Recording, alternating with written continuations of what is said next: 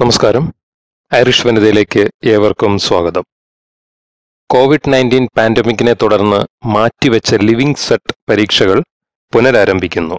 രണ്ടായിരത്തി അഞ്ഞൂറിലധികം കുട്ടികൾക്ക് തിങ്കളാഴ്ച മുതൽ ലിവിംഗ് സെറ്റ് പരീക്ഷകൾ ആരംഭിക്കും. പകുതിയിലധികം പേർ ഒന്നോ രണ്ടോ വിഷയങ്ങളിൽ മാത്രമാണ് പരീക്ഷ എഴുതുന്നത്. കൊറോണ വൈറസ് പാൻഡമിക് മൂലം മെയ് മാസത്തിൽ നടത്താനിരുന്ന ലിവിംഗ് സെറ്റ് പരീക്ഷയാണ് ഈ മാസം നടത്തുവാൻ പോകുന്നത്. മെയ് മാസത്തിൽ പരീക്ഷ നടത്താൻ കഴിയാത്തതിനെ തുടർന്ന് വിദ്യാഭ്യാസ വകുപ്പ് കണക്കാക്കിയ ഒരു ഗ്രേഡ് സമ്പ്രദായം അന്ന് അവതരിപ്പിച്ചിരുന്നു.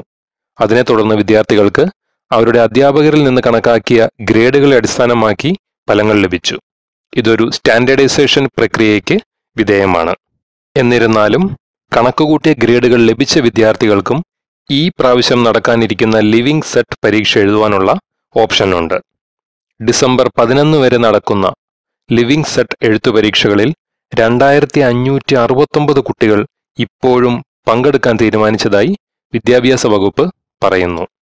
ചില വിഷയങ്ങളിൽ പ്രതീക്ഷിച്ച ഗ്രേഡുകൾ ലഭിക്കാതെ നിരാശരായ പല കുട്ടികൾക്കും ഈ തവണ വീണ്ടും പരീക്ഷ എഴുതുവാൻ സാധിക്കും.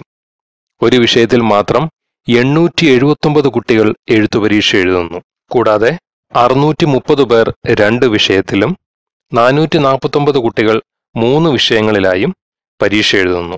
ഇതിനുമൊക്കെയും അപ്പുറെ ഏഴ് വിഷയങ്ങളിലായി എൺപത്തിയെട്ട് കുട്ടികളും ഇരുപത്തിനാല് കുട്ടികൾ എട്ടോ അതിലധികമോ വിഷയങ്ങളിലായി പരീക്ഷ എഴുതുന്നുവെന്ന് വിദ്യാഭ്യാസ വകുപ്പിന്റെ പുതിയ റിപ്പോർട്ടുകൾ സൂചിപ്പിക്കുന്നു. ലിവിംഗ് സെറ്റ് പരീക്ഷ എഴുതുന്നവരിൽ എണ്ണൂറ്റി എഴുപത്തിനാല് കുട്ടികളും ഡബ്ലിനിൽ നിന്നുള്ളവരാണ്. ഇരുന്നൂറ്റി ഇരുപത്തിരണ്ട് പേർ കോർക്കിൽ നിന്നും നൂറ്റി അമ്പത്തി ആറ് ഗോൽവേയിൽ നിന്നുമാണുള്ളത്. പ്രവൃത്തി ദിവസങ്ങളിൽ ഓരോ ദിവസവും ഒരു പരീക്ഷയും ശനി ഞായർ ദിവസങ്ങളിൽ രണ്ട് പരീക്ഷകളും വീതം ഉണ്ടായിരിക്കും.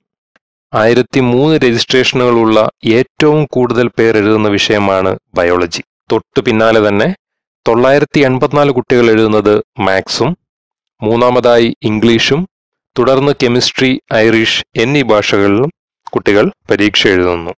ഇതിനൊക്കെ പുറമെ കോവിഡ് നയന്റീൻ രോഗബാധിതരും കൂടാതെ രോഗലക്ഷണങ്ങളുമായിട്ടുള്ള ഏതൊരു വിദ്യാർത്ഥിക്കും മാറ്റിവെച്ച ലിവിംഗ് സെറ്റ് പരീക്ഷകൾക്ക് ഹാജരാകുവാൻ അനുവാദമില്ലെന്ന് വിദ്യാഭ്യാസ വകുപ്പ് കൂട്ടിച്ചേർത്തു.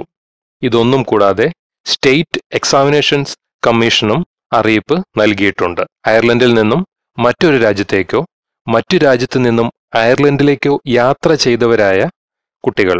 പ്രധാനമായും ഐസൊലേഷനിൽ കഴിഞ്ഞവർക്കോ കഴിയുന്നവർക്കോ ആർക്കും ഈ പരീക്ഷയിൽ പങ്കെടുക്കാൻ അനുവാദമില്ല എന്നും വിദ്യാഭ്യാസ വകുപ്പ് അഭിപ്രായപ്പെട്ടു. പരീക്ഷ എഴുതുന്ന രണ്ടായിരത്തി അഞ്ഞൂറ്റി അറുപത്തൊമ്പത് കുട്ടികൾക്കും അറുപത് ജൂനിയർ തലത്തിലെ സ്ഥാനാർത്ഥികൾക്കും വിദ്യാഭ്യാസ മന്ത്രി നോർമ ഫോളി ആശംസകൾ അറിയിച്ചു.